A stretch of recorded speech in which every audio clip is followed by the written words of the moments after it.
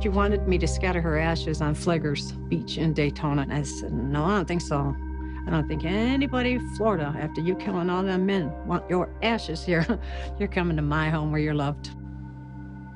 And this is a safe that I've had since 1993, I believe I got it. After she was so paranoid somebody was going to sneak in my house. Those are all letters.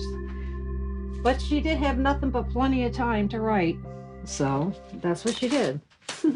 and here's a picture of uh, when I had went down to the court of Tyria Moore and Dawn Botkins together at the courthouse.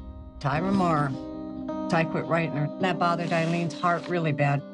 So she wrote me and had me write Ty. Ty wrote her letter, said she moved on with life, so she can't never write her again. But at least she did that, you know. So Aileen quit thinking about it all the time. That's all she thought about. Was she sick?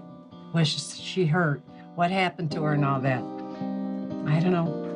This is just our, our visits. I was one lucky girl to have such a great friend who always had the pictures taken because she wanted to. Some she had signed for certain things. It is, again, my favorite sign when I was a young hippie back in the old 70s. And that's the peace sign. She loved giving the peace sign that and the finger.